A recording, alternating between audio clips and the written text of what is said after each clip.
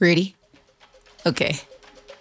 Now, more than ever, in a world of uncertainty, we reflect.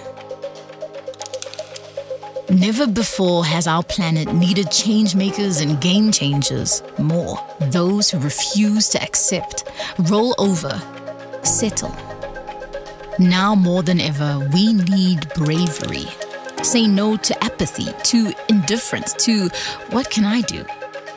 To being beat.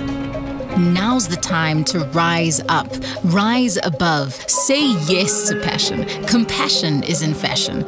Dash in forward, upwards, and towards a future we want to live in. Pick up the pen.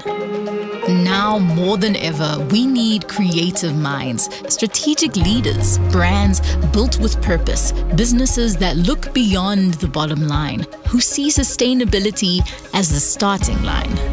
It's time to rethink. Good thing us thinkers have been staring out of windows our whole lives, imagining better. Imagine that. An idea that changes the world is inside you. Now more than ever, there's hope. A hope that the greatest generation is coming up.